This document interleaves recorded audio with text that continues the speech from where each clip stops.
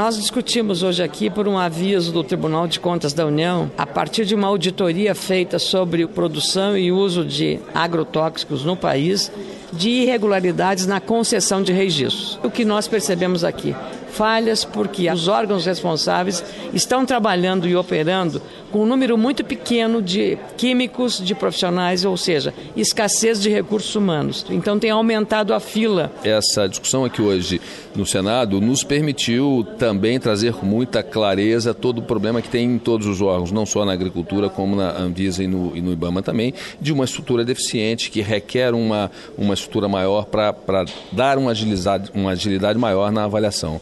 O que aqui foi solicitado pelo coletivo dos senadores, primeiro item, um órgão controlador ou uma política controladora ou uma área de governo que tenha a coordenação de tudo isso. A CNE já de longa data vem trabalhando uma proposta de que essa forma de registro deveria ser em um órgão que congregue, é claro, profissionais da área de saúde, meio ambiente, agricultura, mas que seja um órgão único. Segundo, reduzir a fila dos registros, que é muito importante, e cuidar muito da extensão rural em relação a esses procedimentos. Então, veja, são essas medidas que nós vamos discutir pessoalmente com os ministros para ver como eles entendem que essa política pode ser implementada com o apoio do Congresso Nacional.